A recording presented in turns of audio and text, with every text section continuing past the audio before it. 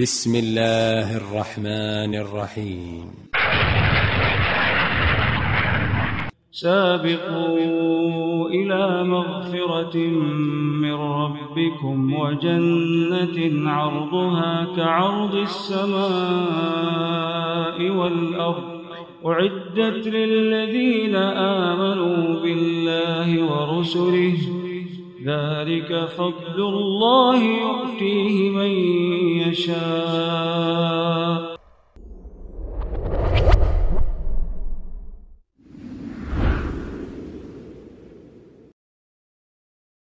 الحمد لله حمدا كثيرا طيبا مباركا فيه كما يحب ربنا ويرضاه وأشهد أن لا إله إلا الله وحده لا شريك له وأشهد أن محمدا عبده ورسوله صلى الله عليه وعلى اله وصحبه وسلم تسليما كثيرا اما بعد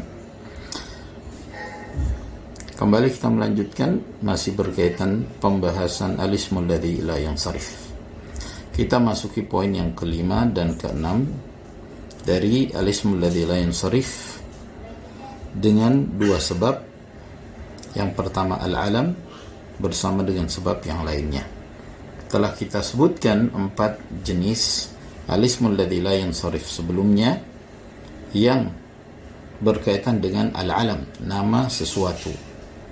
Yaitu al-alam bersama dengan al-adl al-alam bersama dengan timbangan fi'il atau wazn al-fi'il kemudian al-alam bersama dengan ziyadatul alif wan nun tambahan alif nun dan al-alam bersama dengan ta'nith tanda muannath sekarang kita masuk ke poin yang kelima al-alam ma'al ujmah nama sesuatu bersama dengan al-ujmah yang dimaksud al-ujmah adalah yang bukan asli Arab yang bukan asli Arab. Apabila ada nama sesuatu yang dia asalnya bukan dari bahasa Arab, maka kata tersebut atau nama tersebut termasuk ismul ladzi la yang sarif.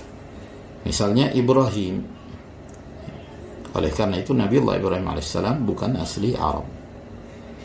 Ya. Demikian pula Ismailu tidak ditanwin karena nama Ismail bukanlah nama asli Arab. Demikian pula Yusufu bukan asli Arab. Mayoritas nama nabi itu bukan berasal dari bahasa Arab. Ya, oleh karena itu mayoritas dari nama-nama tersebut bentuknya alismul ladzi la yansarif atau al-mamnu' min as-sarf. Seperti Yaqubu, Dawudu dan seterusnya. Kemudian yang keenam yang terakhir al-alam nama sesuatu ma'a tarkibin masji bersama dengan tarkib masjid. Tarkib artinya susunan, masjid artinya leburan, sesuatu yang dilebur. Yang dimaksud tarkib masjid adalah dua kata yang kemudian dilebur menjadi satu lalu diberi nama sesuatu. Dua kata yang dilebur menjadi satu lalu diberi nama sesuatu. Misalnya ba'la bakku ini ba'la bakku asalnya berasal dari dua kata ba'lun dan bakkun ba'lun dan bakkun ya ba'lun ada yang mengatakan itu asalnya merupakan nama patung, nama berhala. Bakun ada yang mengatakan Bakun adalah pemilik patung tersebut.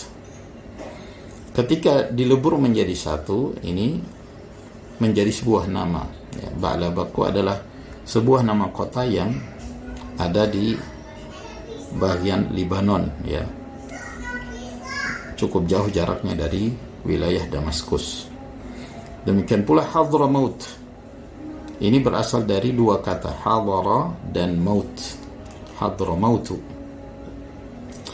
Maka ketika dilebur menjadi satu lalu diberi nama untuk sebuah kota yang ada di negeri Yaman. Negeri Yaman namanya kota Hadramaut, Yaman Selatan.